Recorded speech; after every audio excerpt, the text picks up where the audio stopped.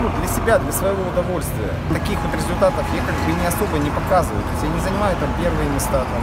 Во время пробега именно ультрамарафонов э, сознание ну, приобретает, наверное, новые какие-то новые ощущения.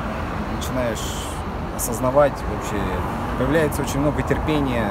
Человек получает, наверное, такой вот своеобразный толчок, чтобы в дальнейшем преодолевать какие-то невзгоды, преграды. Официально чемпионат России, официальный старт, и здесь ну, не допускается никакого допинга.